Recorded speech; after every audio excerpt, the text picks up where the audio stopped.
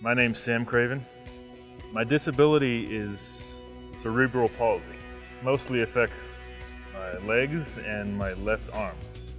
I started helping in his classroom when he was little and became a teacher. Every stage was a what are the options, what are the modifications that have to be made, all that kind of stuff. I have a note taker who takes the notes and gives me the paper at the end of the class. Thinking about each step and how to get support. The people in education are really helpful, the people at the school. He's very much more assertive, which he's had problems with before, voicing what he needs. There have been a couple of times that I've had to voice my own concerns on testing, what do I need to do, how do I need to get it done. He's both this last semester and the, and the semester now, he's taking classes at DVC. One was a sports psychology class and one was a, a coaching class. I'm actually trying out for the Paralympics next year, which are in Rio de Janeiro. I see him being totally independent and living on his own. I see him being successful as a coach. When Sam Craven was, was two years old, the, the doctors um, said to my parents that, uh, that he, would, he wouldn't do anything in life. He would be nothing more than, than, a, than a vegetable. And continuously, he has proved them wrong and everybody else wrong. I think to get an education, you have to have drive. And drive is what makes you want to do something. If you don't have drive, you're just going to want to sit around all day and do nothing. But people have said if you want to get ahead in this world, you have to put yourself out there. Otherwise, you won't get anywhere. My name is Andrew Smith. I'm 22 years old and here we are at the beautiful St. Mary's College. At the age of three and a half, I was diagnosed with Asperger's syndrome. Kids aren't allowed to fail very often in our society today. You know, failure is not a bad thing. Uh, you know, failure, a collection of failures is how you get to success. Um, and that really sort of became our motto in getting him, you know, through school and into college and wherever he was. People were picking on me one day at school. They said that, hey, you know, I was a sissy and that, you know, I might as well just go off and be a choir boy. Well, what did I do? I went off and became a choir boy. It was one of the things that really helped me become a better person. And you were working hard alongside your friends every day and you all just learned to love. I started Taekwondo at the age of nine.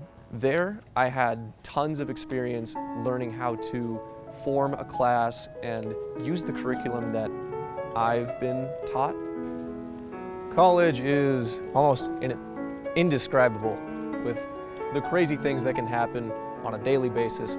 You are living suddenly in this place where everyone around you just wants to do something. In many ways, it is more strict in terms of its rules, and in many ways, you know, there are no rules.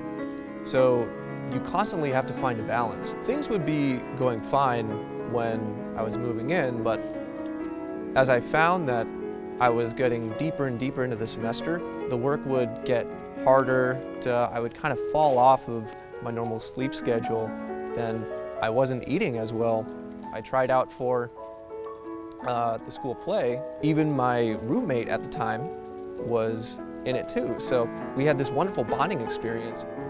Teaching is really the only thing that I logically have been building myself up to do. So I've been teaching Taekwondo for seven years. I've been uh, learning music and teaching music to others. The more music degrees you get, then the more you can charge for lessons. I need to challenge myself in order to learn.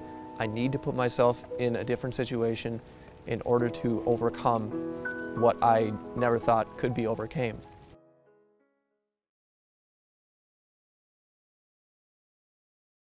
My name is Elliot Kolschneider, and I have autism. I was diagnosed with autism fairly late. I was 13 years old.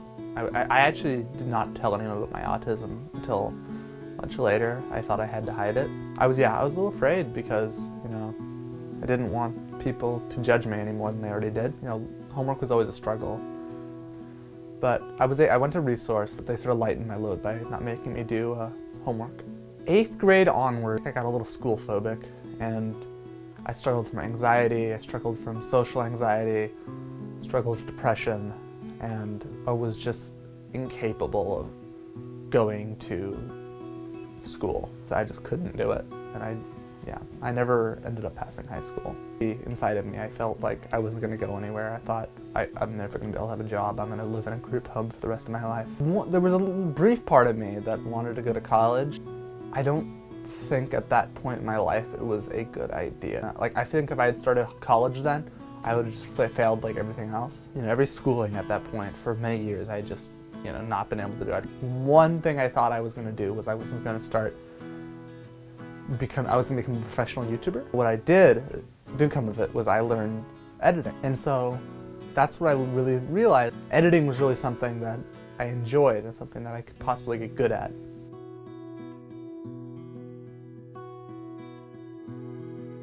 With the vocational training, it was kind of, you know, what you needed to succeed, they were able they were able to give to me. That was definitely helpful, the fact that I was able to get the support I needed and not be like, well, you should be doing this yourself. Because, you know, you, sometimes you need a little support before you go off and do something on your own. And it was something, it was, I was given the opportunity to do something that most people probably would have said, oh, he can't do that. But because they gave me the opportunity and it was something I really cared about, I was able to do it. With here, if I made a mistake, they, they would just help me get past the mistake and not do it again instead of just putting this enormous stress on me. We all sort of, we were sort of a small group and so it was expected that you start, you get to know your, your classmates and we all worked together as a team. I was able to be in a stress-free environment that sort of helped me learn social skills. I, leap, I jumped leaps and bounds in my own ability to talk with people. The one thing that the vocational training did is though they would help you with things that you didn't know how to do. Once you knew how to do them, they expected you to do it. I didn't have the learned helplessness, you know. I didn't feel like I have to have other people do the thing for me. I'm now uh, teaching full-time uh, and an assistant editor at the, at the Futures Explored Film Workshop that I once was a student at. I will continue to work, you know, at the workshop for as long as, as I can. And eventually I would like to, you know, move on to being a, an editor full-time. And I'm also considering doing more more public speaking and like do comedy. You know, being here at the workshop really taught me sort of bravery that I feel like I can actually you know speak in front of people now. And I want to be able to become more independent so I can travel on my own, learn to you know get places on my own and learn to eventually live on my own. There's definitely a point in my life I feel that going to college would be a great idea. But right now I do not feel, feel it necessary because of all the training I've gotten. But I will never rule out the idea of college.